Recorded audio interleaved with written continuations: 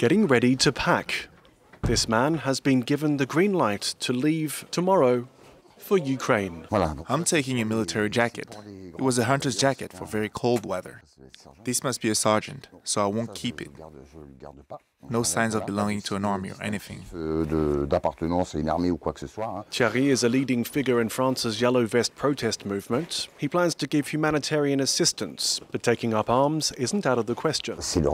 It's Europe. Uh, Eastern Europe. We see the images. It's terrible. There are deaths, there are families, there are two million refugees. So I felt a call to go, to help them, to be able to do something. I used to protest against problems in France. There are problems in Ukraine, so I'll go there. Thierry has no experience of war zones. He's relying on his fellow travelers who specialize in emergency medical aid.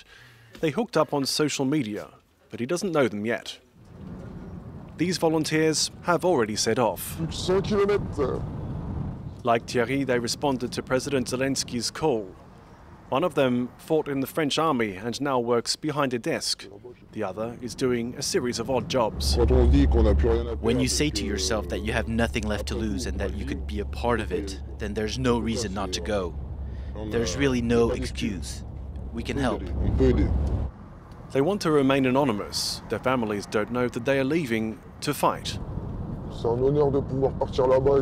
It's an honor to be able to go and fight with them. I think that if one day this happened in France, I would be very happy if people from other countries came to help us. We'd be very happy to have them. Thierry and this small group of volunteer fighters hope to reach Lviv and then Kiev as soon as possible.